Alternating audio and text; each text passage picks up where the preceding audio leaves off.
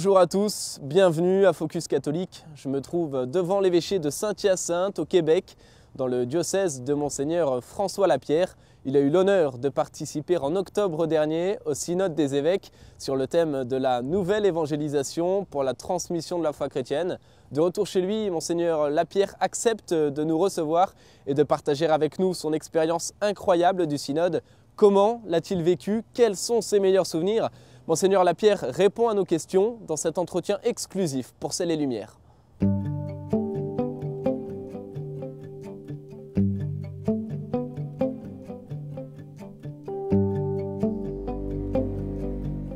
Bonsoir Monseigneur Lapierre. Bonsoir. Merci beaucoup de me recevoir chez vous à l'évêché de Saint-Hyacinthe.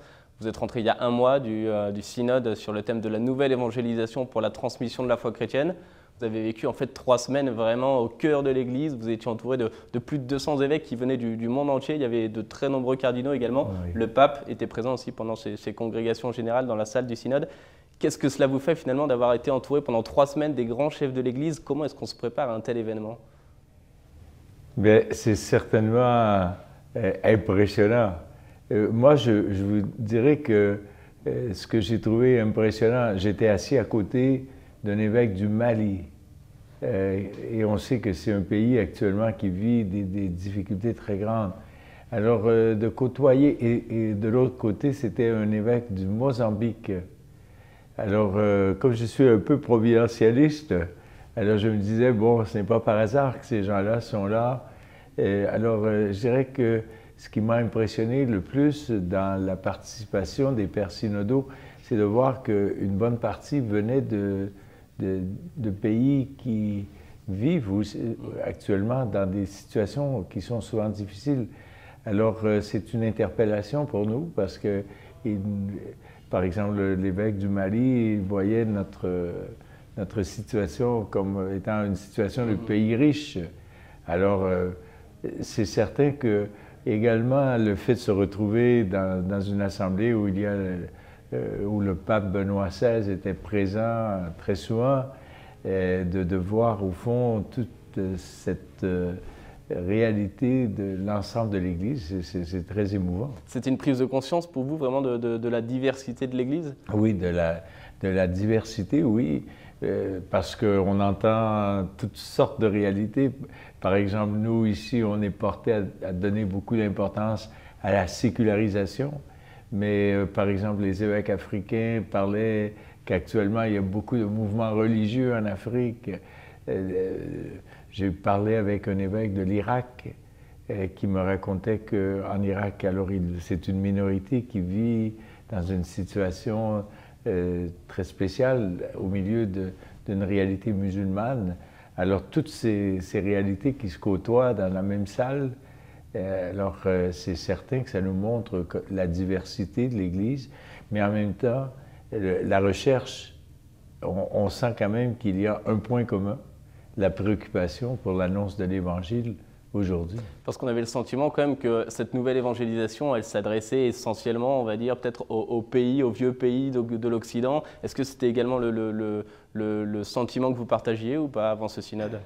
Et Je dois dire que euh, je pensais que pour moi, la nouvelle évangélisation s'adressait d'abord euh, à des pays comme les nôtres, où il y a ce fort phénomène de la sécularisation, euh, l'éloignement d'un bon nombre de catholiques, ou tout au moins l'indifférence.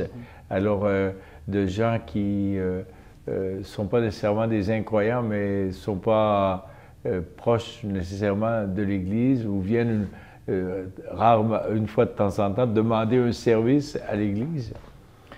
Mais euh, dans le synode, bien, je me suis rendu compte que quand même, euh, chaque, euh, chaque réalité à travers le monde, alors appelle une nouvelle évangélisation, c'est-à-dire que l'Évangile a toujours une nouveauté à apporter et par exemple, en parlant avec nos frères de l'Afrique, alors ils voyaient que ce, synode était très significatif pour eux également, d'une autre façon que pour nous, mais que c'était une interpellation pour eux aussi, un défi.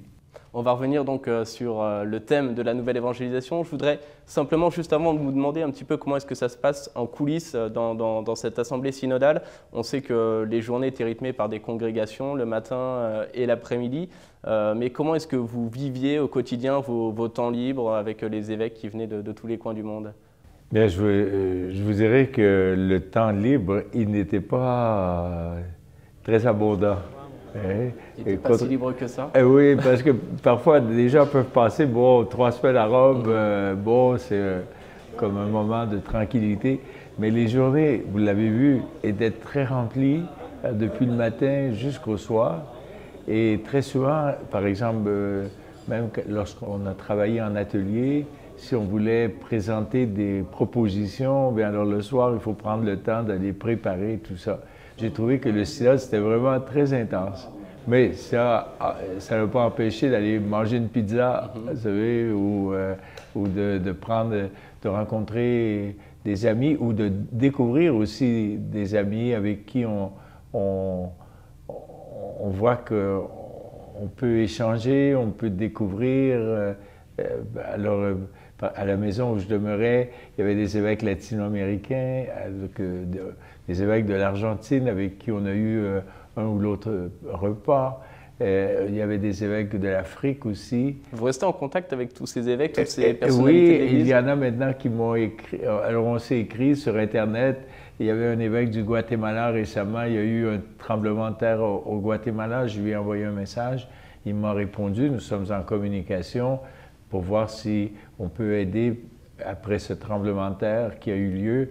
Alors, on, voit que euh, donc euh, le, synode, euh, ce n'est pas simplement l'échange sur des documents, mais c'est aussi la découverte de, gens avec qui on reste en lien. Alors, dans une communication qui n'est pas uniquement sur des questions théologiques ou de, la nouvelle évangélisation, mm-hmm. mais aussi, par exemple, de voir, euh, comme là, par exemple, cet évêque du Mali, il veut envoyer un prêtre euh, pour étudier, qui peut-être va demeurer ici. Alors tout ça, ce sont des fruits, je dirais, de, cette, de ce synode. De ce synode oui. Revenons justement sur le thème de ce synode, donc la nouvelle évangélisation, vous en avez parlé, vous avez échangé sur ce thème pendant, pendant plus de trois semaines. Avec du recul, un mois plus tard, qu'est-ce que cela vous inspire? Qu'est-ce que ça vous évoque, la nouvelle évangélisation? Bien, Euh, le mot nouveau. Hein? Euh, alors, euh, c'était une des questions durant le synode. Qu'est-ce qui est nouveau? Mhm. Hein, qu'est-ce qui est vraiment nouveau? Qu'est-ce que ça veut dire? Quoi la nouvelle évangélisation? C'est une expression qui a été développée pour la première fois par Jean-Paul II, n'est-ce pas? oui, par le, mhm. par le pape Jean-Paul II. Mais je dirais que l'expression est du pape Jean-Paul II, mais la réalité à mon avis, elle est déjà là au moment de la convocation du Concile euh, Vatican II. Mhm. Moi, j'avoue que ce synode m'a aidé à prendre conscience que déjà le pape Jean XXIII, euh, quand il a convoqué le, Concile, quand il a signé la convocation du Concile, le jour de Noël 1961, il dit, ce Concile se situe dans, dans une nouvelle réalité, et dans cette nouvelle réalité, la sève de l'Évangile doit euh, être transmise dans les veines de l'humanité. Alors on voit bien qu'il avait cette préoccupation. Alors, vous parlez du Concile Vatican II, c'est vrai qu'on a, on a fêté les 50 ans du Concile Vatican II euh, pendant, pendant ce synode. Le but finalement de ce, de ce concile était d'ouvrir l'Église universelle au monde et paradoxalement, on a le sentiment que l'Église en fait est en perte de vitesse depuis, depuis plus de 50 ans même, euh, que les fidèles catholiques, euh, les fidèles tout court d'ailleurs, désertent l'Église, qu'il y a de moins en moins de pratiquants à l'Église. Comment est-ce qu'on peut expliquer ce paradoxe? Certainement que dans certaines parties du monde, on peut avoir cette impression, mais en parlant avec les évêques qui étaient présents au synode, on voit que dans d'autres parties du monde, il y a eu il y a eu un, renouveau. Par exemple, moi, comme missionnaire, j'appartiens à une société missionnaire, j'ai travaillé en Amérique latine. Et les années qui ont suivi le Concile ont été des années de croissance mm-hmm. de l'Église latino-américaine. Euh, pour euh, des raisons qui ne sont pas toujours faciles à saisir, euh, c'est évident que, par exemple, ici, dans notre pays. On a l'impression que depuis le Concile, l'Église a été en perte de vitesse. Mhm. Et alors, ça, c'est sûr que la nouvelle évangélisation va être une réponse à cette situation. Mais alors, à qui ça s'adresse, à la nouvelle évangélisation? Est-ce qu'on s'adresse aux catholiques, à ceux qui sont en train de perdre la foi, aux agnostiques, à ceux qui sont en recherche de spiritualité euh? C'est une bonne question. Durant le synode, euh, ce que j'ai senti, c'est que il y avait comme un double, une double préoccupation. D'une part, la préoccupation qu'on pourrait appeler adintra, mmh. c'est-à-dire à l'intérieur de l'Église, les gens qui sont actuellement actifs à l'intérieur de l'Église. Alors, l'importance de retrouver, comme le disait le pape Jean-Paul II, une nouvelle ardeur. Mhm. Maintenant, comment retrouver cette ardeur de la foi? Alors, durant le synode, il a été beaucoup question de la rencontre, de l'importance de la rencontre. On sait dans nos relations humaines l'importance des rencontres. Et souvent de, de l'amitié. Alors, euh, il a été beaucoup question de cette rencontre comme euh, source de, d'une nouvelle ardeur de la foi. Pourtant, certains détracteurs diront que euh, ce terme de nouvelle évangélisation n'est peut-être pas forcément approprié, que ça laisse entendre euh, comme une sorte de prosélytisme. Qu'est-ce que vous leur répondez? Bien, écoutez, à l'intérieur même du synode, je me souviens que le patriarche maronite au Liban euh, nous a dit, écoutez, la nouvelle évangélisation ne doit, pas apparaître comme une nouvelle croisade euh, ou euh, comme une volonté de conquête, parce que encore aujourd'hui, nous a-t-il dit, les musulmans, par exemple, ont l'impression que les chrétiens, que ce soit à travers les guerres de l'Irak ou tout ça, ont encore une mentalité de croisade. Mm. Alors, c'est sûr que ce serait une mauvaise façon de voir la nouvelle évangélisation.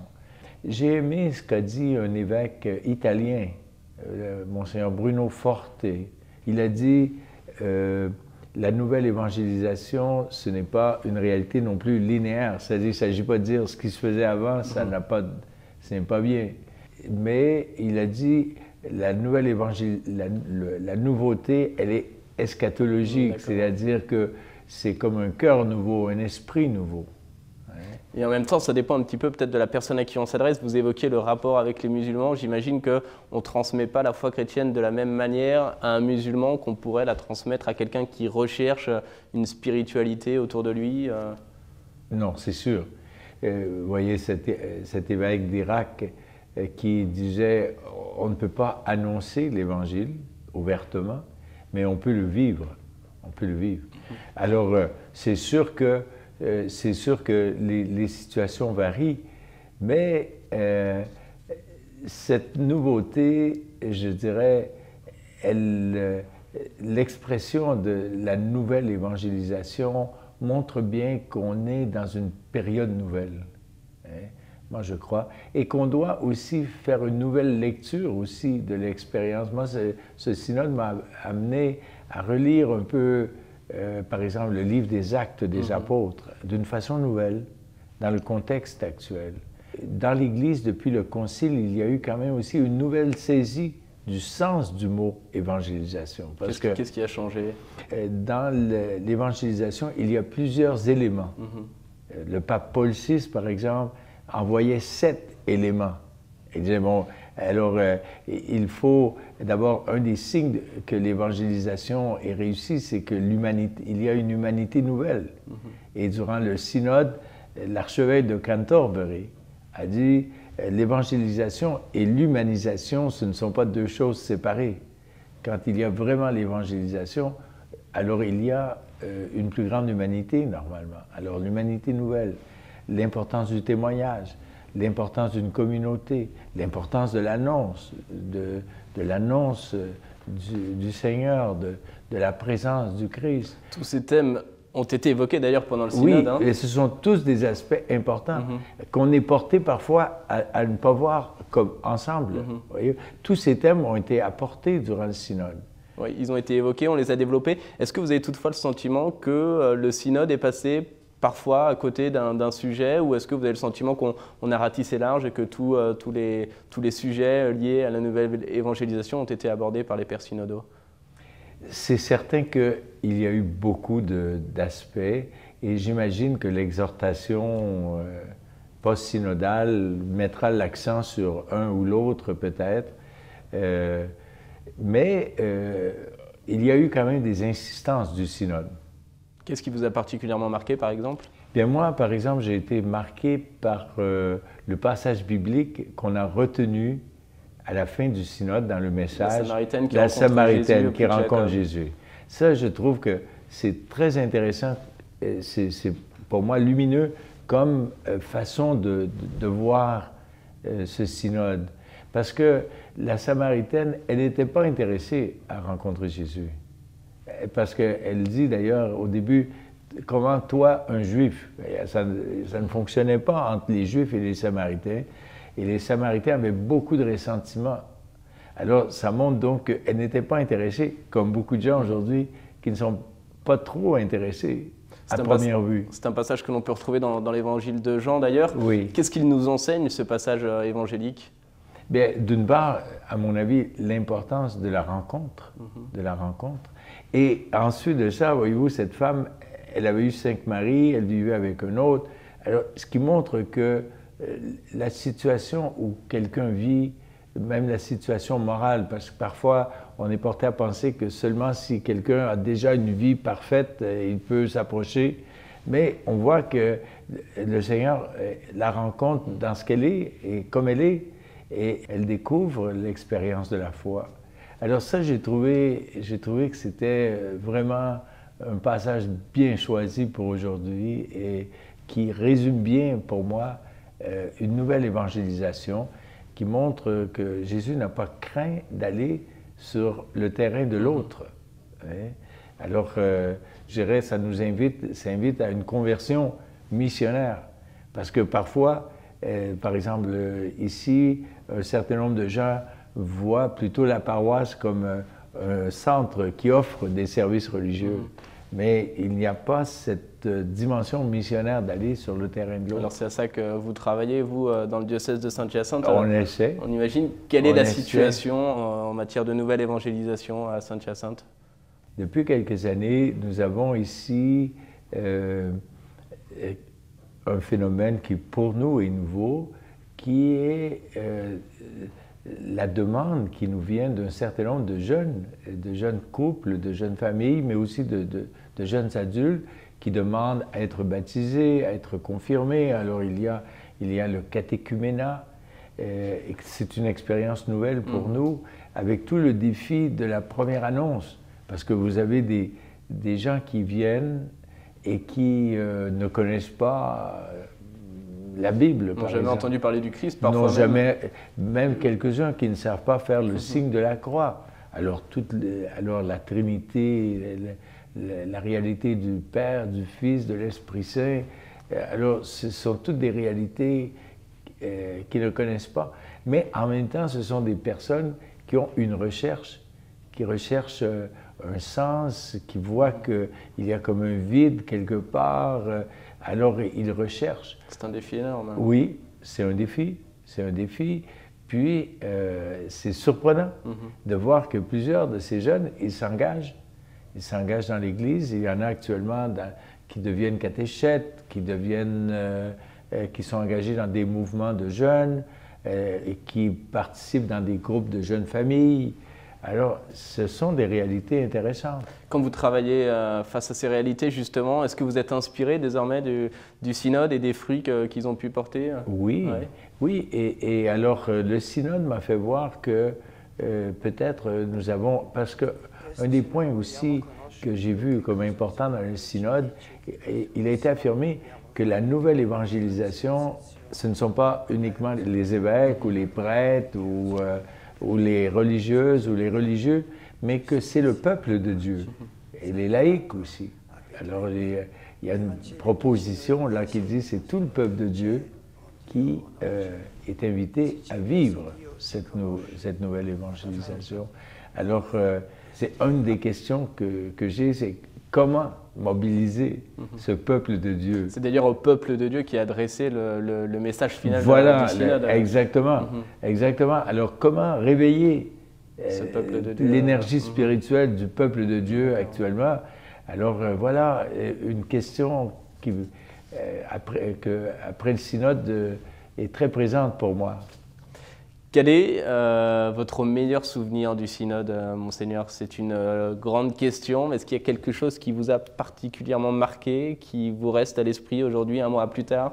Moi, je ne vous cache pas qu'un moment de grande émotion pour moi, c'était le soir du 11 octobre, quand il y a eu sur la place Saint-Pierre ces milliers de personnes avec les flambeaux, qu'on a entendu la voix du bienheureux pape euh, Jean XXIII le soir de l'ouverture du, concile. Et après, alors le, pape Benoît XVI qui est apparu à, sa fenêtre pour parler à, la foule, pour dire euh, le pape Jean XXIII voyait le concile comme une nouvelle Pentecôte. Alors aujourd'hui, nous célébrons avec peut-être plus d'humilité parce que nous voyons les problèmes qui ont surgi aussi mais euh, nous allons de l'avant. Mhm. Alors, euh, je ne vous cache pas que ça, j'ai senti, là, il y avait beaucoup d'émotions, je, voyais autour de moi euh, tous ces gens qui s'étaient réunis, qui venaient des différents coins de Rome. Alors ça, c'était pas directement dans le synode, mais c'était un événement à côté, mais... un moment pour moi d'émotion. Et Benoît XVI, qui d'ailleurs, euh, lors de, lors de son apparition, euh, s'était adressé à ses fidèles un petit peu avec les mêmes termes que ceux de, Jean XXIII, en disant en rentrant chez vous, vous embrasserez vos enfants et vous leur direz que c'est un baiser du pape. Euh. Voilà. Alors, espérons que ce synode saura trouver ce chemin pour alors arriver jusqu'au cœur de, de, bien des gens aujourd'hui qui sont en recherche Dernière question, monseigneur, euh, juste avant de, finir cette entrevue, est-ce que vous pouvez me dire ce que vous attendez désormais de l'exhortation euh, post-synodale? Bien, espérons qu'elle va nous aider à bien voir euh, cette nouveauté aujourd'hui de l'Évangile, comment cet Évangile peut parler dans le contexte actuel. Il y a déjà un certain nombre de propositions qui aident. Ensuite de ça, peut-être nous aider aussi à mieux voir les acteurs aujourd'hui mm. de cette nouvelle évangélisation, apporter ce souffle euh, de l'esprit et de l'esprit de Dieu. Parce que durant le synode, plusieurs euh, pères synodaux ont fait noter l'importance de l'Esprit Saint. Et on le voit dans le livre des Actes, au début d'un temps nouveau, alors il y a une présence de l'Esprit, de l'Esprit Saint. Alors euh, espérons que cette exhortation va donner ce souffle dont on a besoin actuellement pour aller de l'avant. Ah bah, ce sera les mots de la fin. Merci beaucoup, euh, Monseigneur, d'avoir partagé avec nous euh, votre expérience euh, du synode. C'est un plaisir, c'est une joie. Et on vous souhaite à vous et à votre diocèse une bonne route sur les marches de la nouvelle évangélisation. Un grand merci. Merci à vous. Un grand merci d'être venu jusqu'ici. Merci beaucoup.